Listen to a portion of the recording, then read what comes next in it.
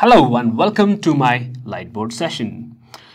In this lesson, I'm going to talk about the three main cloud deployment models, namely the public cloud, private cloud, and hybrid cloud. So let's talk about what each of this really means, right?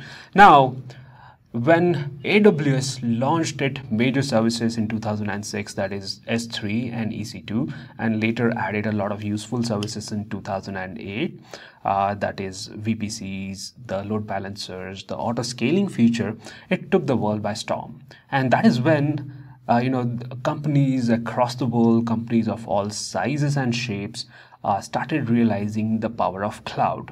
And they started and you know uh, building their infrastructures on cloud and all you needed from there on was just an idea to get started with anything.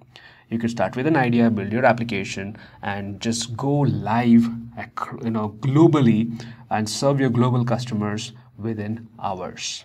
And that was the power of cloud that it you know that accelerated the growth of uh, the startup world in general starting with 2008 now when we talk about clouds like aws and later on uh, azure and gcp were launched in 2009 and 2008 uh, these are some of the examples of the public cloud uh, what is a public cloud? Public cloud is something that you know uh, access that is accessible to everyone and anyone, and all you need is to create an account today uh, and sign up and uh, just you know with your probably your credit card.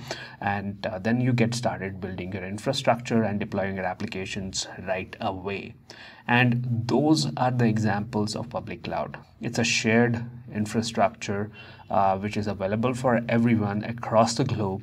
And uh, the access to that is can also be you know you can also make your some of the infrastructure as private and inaccessible from outside world but you can still access it through a public internet and th that is an example of a public cloud infrastructure and everything that you know about or heard of let's say aws uh, azure uh, gcp even smaller cloud platforms like DigitalOcean fall under this category of public cloud.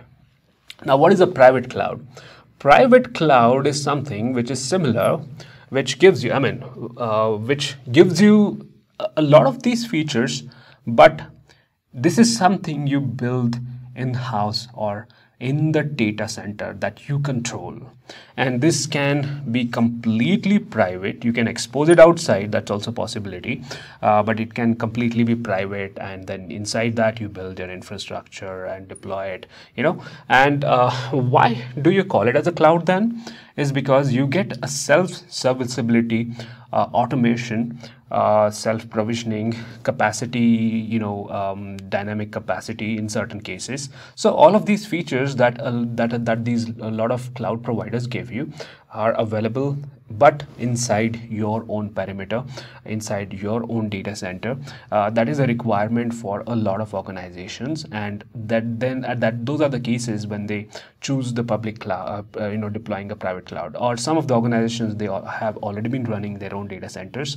It is much cheaper for them uh, and more efficient and faster for them to manage and build everything in-house in which case private cloud is a great option.